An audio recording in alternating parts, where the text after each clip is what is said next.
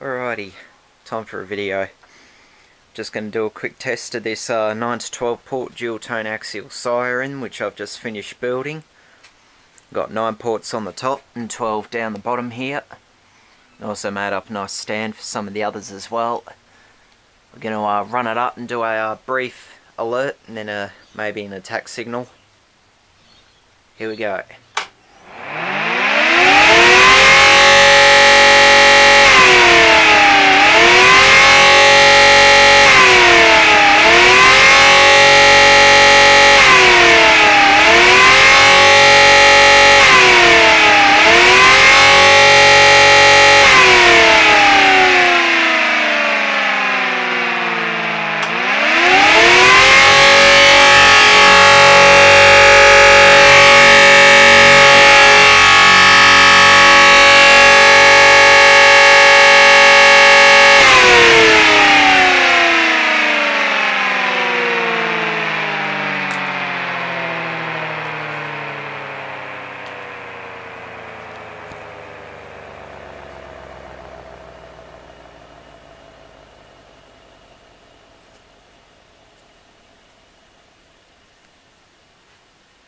Because it's only running up to 2900 revs it's not going to sound like an Federal SD10 or something like that sadly because it's uh, not getting up to the the highest speeds but it's still pretty good.